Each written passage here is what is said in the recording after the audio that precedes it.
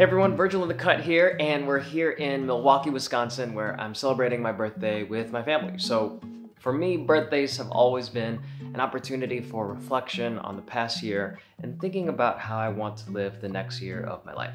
Now, this year felt particularly special because it was my 20. Excuse me, sorry. Go ahead. I said this year felt particularly special because it was my 20. Yo, what is that distraction over there? I'm 29. It's cool. Although based on how my friends helped me ring in year 29, I can tell my body doesn't bounce back the way it used to, but that's okay. Because as I look towards next year before turning the big 3-0, I've been thinking about how I can really start using this upcoming year as a new start for building healthy habits, setting new goals, and accomplishing some things off my bucket list, which happens to fall perfectly with this book that I'm currently reading. The past few weeks, I've been reading a book called How to Change by Katy Milkman, which explores the science of habit building and how to start doing the things you want to do in the midst of overcoming procrastination, feelings of being overwhelmed, and just trying to juggle all the different priorities in our lives. Which I mean, that's what this channel is all about because realistically, I'm not the best at sticking to my improvement plans or building in strong habits all the time, and chances are you might not be either. Now, there are a ton of different topics that this book actually touches on, so I strongly recommend you check out Katy Milkman's book. I'm not sponsored or anything, but I left a link in the description if you want to check the book out. One of the things I really like about Katy Milkman's book is she recognizes that change is hard, but also that there's not necessarily a one size fits all magic bullet solution for everyone in terms of strategies for habit change and self improvement. So, some of the things I talk about in this channel that work for me may not work for you, and vice versa. But I do want to give you a small taste of what you can expect to find in this book, which is pretty timely because the first chapter of this book talks about the power of fresh starts. We've all experienced the feeling of a fresh start. So, if you think about school, for example, there's this feeling once the semester starts where you're like, oh snap, I know I bombed last semester, but now I get a fresh new start.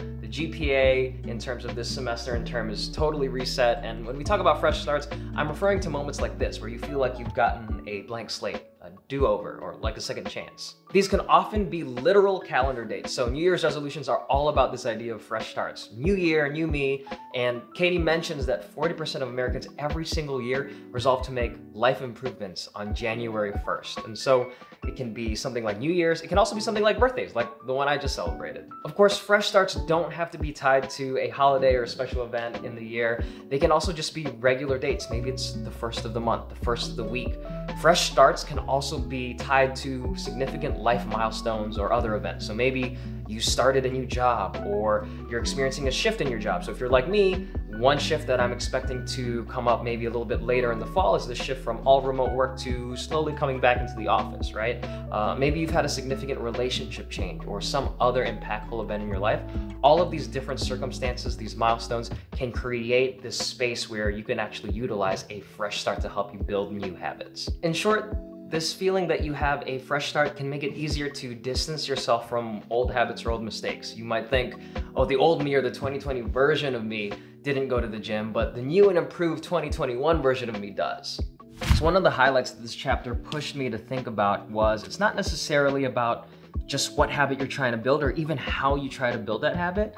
It can also be about when you choose to change a behavior or when you choose to build in a new habit in terms of self improvement. Going back to the semester at school analogy, I definitely feel a lot more motivated to switch up my study habits or look for ways to improve my performance at the beginning of a semester when it feels like I have a fresh start, as opposed to the middle of a semester when I'm already trying to figure out if I can still pass a class. So, how can we become more intentional about these fresh start moments and how can we plug into that fresh start energy instead of just waiting for the next birthday or the next holiday or waiting for the next semester. Because as we mentioned, one way to think about intentionally identifying or creating these fresh start moments, plugging into that fresh start effect, is when there is a significant change in our lives. So, Katy Milkman says that we tend to think about our lives in episodes. So, for me, those episodes might include shifts from student to teacher to entrepreneur to working in higher ed. For some of my friends who have gone off to different states or even different countries after college or after high school,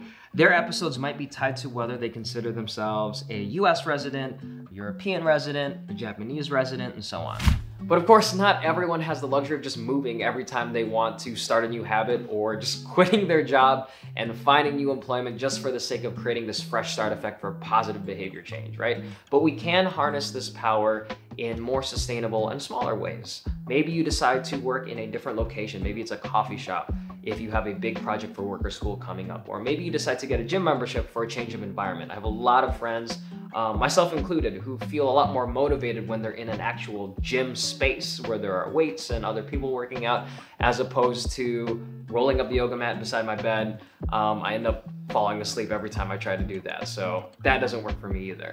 Not gonna lie, I remember hearing as we were going into quarantine in 2020, this idea of creating different spaces where you sleep and eat and exercise and spend your leisure time. And I'm sitting here laughing because I'm like, you have different rooms where you can do those different things right now? Because I tended to do all four of those things in my room because that's where I spent 99% of my time the last year. But I am looking to utilize a little bit more of a separation of each of these areas now that the US at least is starting to open up a little bit. Of course, Katy does note that although fresh starts can be used as a force for good, it can also be used as a force for evil.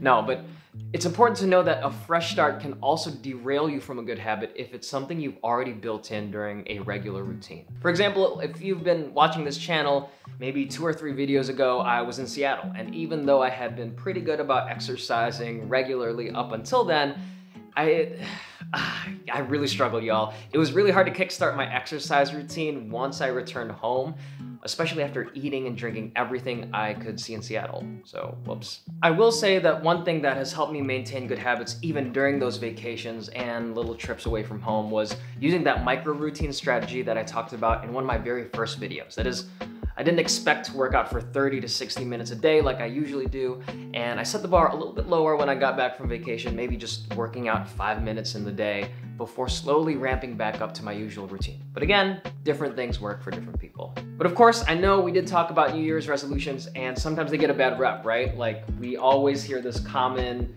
you know, goal of going to the gym or exercising, and the gyms are packed January, February, March, and then as the year goes on, fewer and fewer people show up more regularly.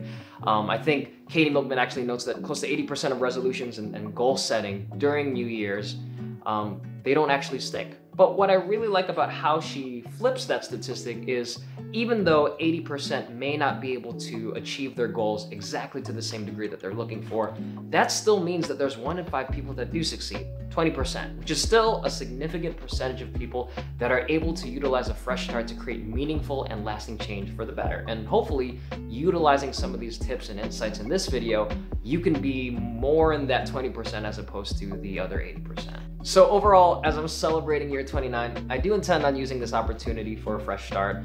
Uh, I definitely fell off the rails a little bit toward the end of year 28 with you know some of my habit building, but I'm looking forward to continuing this YouTube journey as I've been making videos all this year.